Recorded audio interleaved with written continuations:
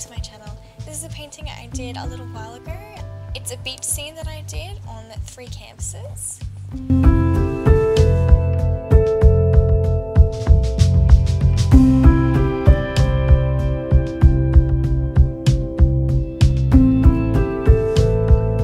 When I painted this, it was very, very hot and the paint on my palette dried very quickly. And um, it became very, very difficult to spread the paint across the canvas towards the end, which didn't seem like too much of an issue. Um, I use impasto paints anyway, so I like to layer it on pretty thick. It proved to be difficult towards the end though. Uh, the white paint that I was using was the worst for it. So you saw me do the ocean first. Uh, I did it upside down so I can get the bottom of the canvases as well. As you can see, I'm being very messy with my lines at the moment. Like I said, I use impasto paint, so I like to layer it on very thick to give an illusion of the detail of the sky.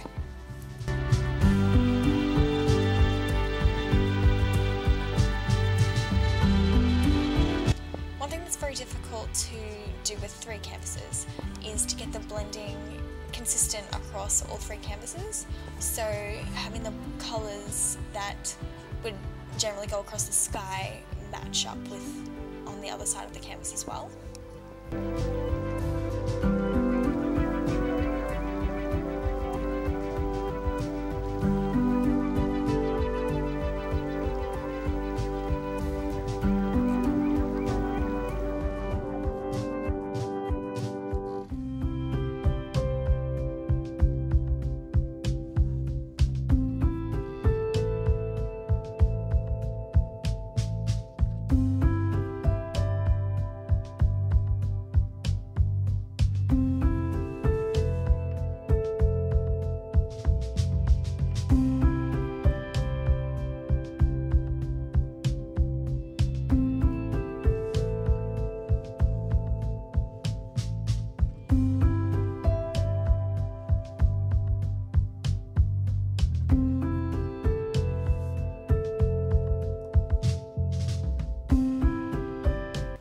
Moving on to the water now, I wanted to create um, the contrast between obviously the sky and the water so you can see the horizon there.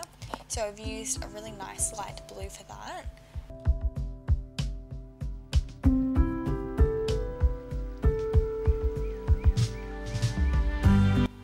And now getting my fan brush, I'm going through with straight white paint and with a dark blue and also the same sort of hue as the background of the blue I've got at the moment to kind of create like a mid-tone to create waves.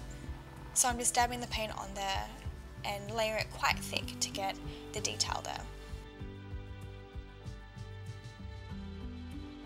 So that's all I really have to say about this one.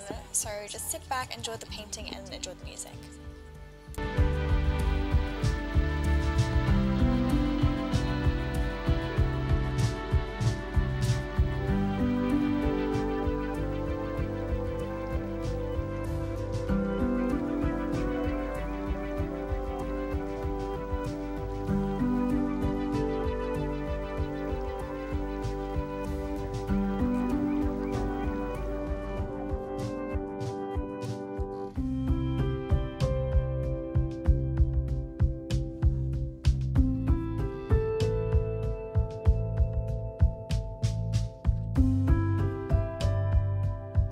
That's all for today guys. Thanks for watching and don't forget to hit the like and subscribe buttons, it really helps, and follow me on my social media platforms. Thanks and I'll see you in the next video.